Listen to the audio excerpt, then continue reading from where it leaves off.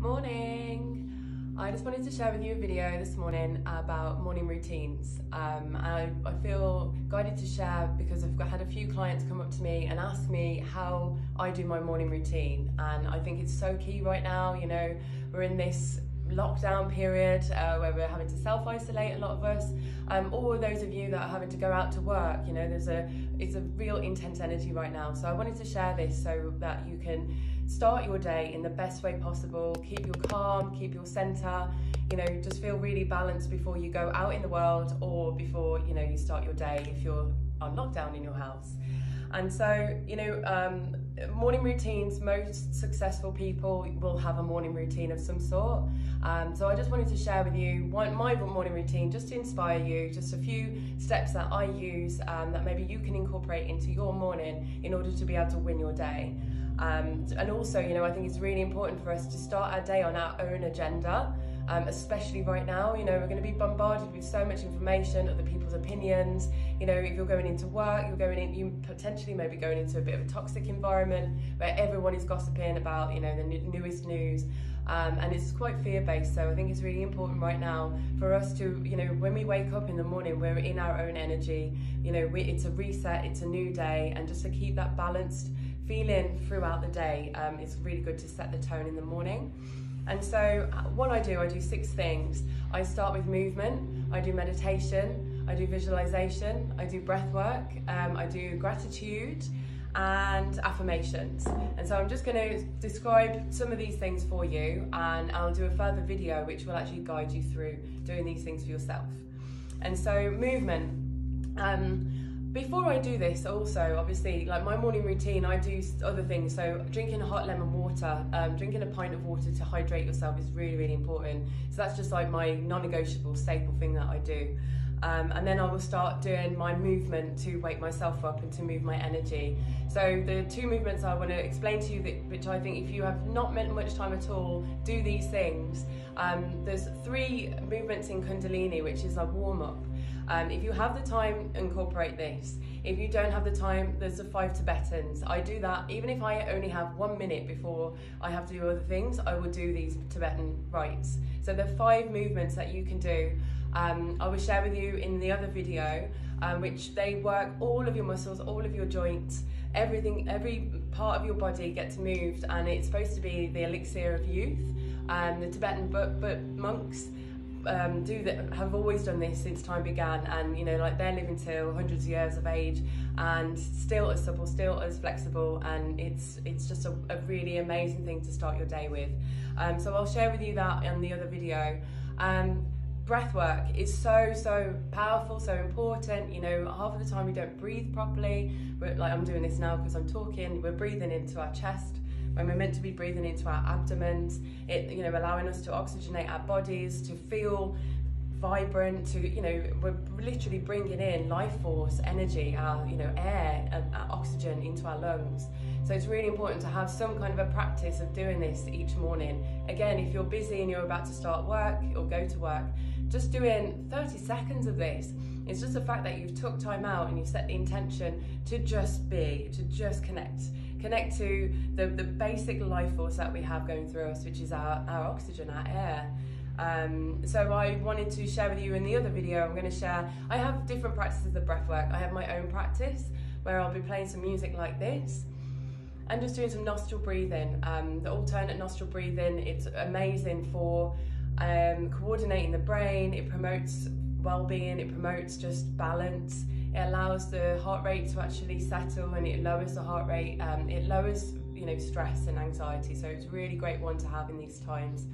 Other breath work that I really love to do where if I wanted if I've got time and I want to be guided I'll um, I've shared this in previous videos. Tony Robbins he has this priming where he does um, quite active breath work um, this is an amazing one. Um, also, Wim Hof, absolutely loving him. I've been training with Wim, Wim Hof through his videos for a number of years now, and his breath work is amazing. Um, so I will share with you a bit more about that in another video. Um, meditation. I think meditation should be a non-negotiable in everyone's life. It should be routine, your, your morning routine, like brushing your teeth. It should be something that we all do, at least for a minute, just to actually stop our thinking and be, you know, just connect to ourselves from the inside. Um, it's really important to start our day with our own agenda again, rather than having everyone else's. So before you get on your phone, before you check your emails, your WhatsApps, your anything, you know, check in with yourself and check in inside. Um, so meditation, so key. Again, you know, if we don't have time, a minute of this it's just again setting the intention to be there for ourselves. Self care, you know, self practice, filling our cup up, overflowing with, you know, feeling good feelings and our own energy is so important before starting our day, especially in this time.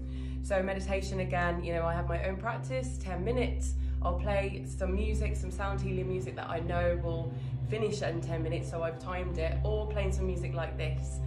Um, or again, I will follow other guided meditations, depending on, I like to change it up. I think, you know, as human beings, we need variation. So I'll share with you some other ways of doing meditation. Um, Deepak Chopra has got a, a, really beautiful 21 day meditation that he's doing right now. It's a free um, challenge and I think it's around hope and certainty, which we could all do with, you know, some guidance with right now. And um, yeah, like I just guide guided meditations for chakra healing, chakra clearing, lots of different meditations you can do. There's so many on YouTube, but I'll share with you some in another video. Um, and then, so the next thing would be gratitude. Having an attitude of gratitude is so, so key, so important. You know, we we have a choice of how we can perceive things. We can look to the negative, we can look to the worst case, or we can find things to be like to be blessed for. You know, count our blessings. So every single morning, I just feel gratitude for my life, for my health, you know, not, it, this is not guaranteed to any of us. So just feeling gratitude for that, feeling gratitude for my family, feeling gratitude I'm staying in this amazing apartment that my friend invited me to stay with her, you know, gratitude for my friends, just feeling like, just keep thinking of all the things I can be grateful for. If there's something really shitty going on, just think of the gratitude that you have for the things that are going well. Um, visualization. So I always do these things in this order as well. Once you come out of your meditation, you know, you do the movement because it gets you moving. Um, we do the breath work because it moves our our thoughts, uh, like our, our, logical mind wants something to actually focus on, so it gives it that to focus on, but it's starting to just release, just relax, and then we can get into meditation where we're totally, we're working on disconnecting from our thoughts, we're working on being, you know, free in our mind of thoughts. And then um, the gratitude and the visualization, we're then just really connecting to our true self, our, our inner voice, in order to be able to really build this up. So, um, visualization, I close my eyes and I will visualize, you know, visualize me being healthy, visualize my family and friends, everyone being healthy and happy, visualizing certain situations that are coming up that I want to play out, you know, in the best way. So, um, visualizing positive endings for this whole lockdown thing you know vi- like visualizing i'm starting my job new job in two weeks how is that going to be? I visualize myself being in that environment and it being positive and it being great.